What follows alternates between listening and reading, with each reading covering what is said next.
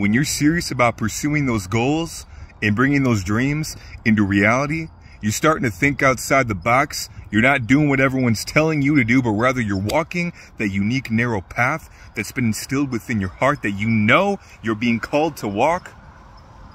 They're going to think that you're crazy. They're going to start talking amongst themselves. She doesn't know what she's doing. He doesn't know what he's doing. They're not going to get anywhere doing that. They don't fucking get it. And see, and here's the thing, the whole time, you're just learning to be your own greatest supporter. You're learning how to clap for yourself. You're learning how to validate yourself each and every day, not by the fruits or the harvest that you reap, but rather by the seeds that you sow in the work that you put in, how much you're willing to sacrifice and feel discomfort in order to bring those manifestations into reality in each and every day. You just keep showing up and showing up and showing up and showing up. And then in due time, the results you get and the fruits that you reap, they speak for themselves. And then all the people who were laughing at you, who mocked you, who were calling you crazy, who were telling everybody about how you don't know what you're doing and you're not going to get anywhere and you're crazy and you don't get it. What do they got to say now?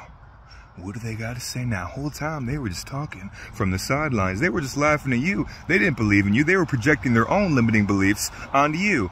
And look at that. You made it happen. See, don't you fucking quit. Don't you fucking give in. Before anyone supports you, here's the thing. Oftentimes, people won't truly support you until they see that it's popular to support you, until you already have the success and the results. And that whole time while you're building up, to achieving those tangible results or visible success, you're learning how to validate yourself.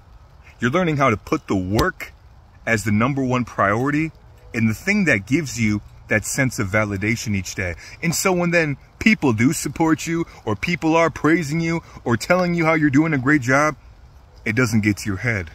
It doesn't change how you operate because the whole time you were learning to do it without their support without their validation, without their approval. You were the only one giving that to yourself. Keep on showing up. Don't give up on your dreams. Just because they don't support you, they don't need to support you.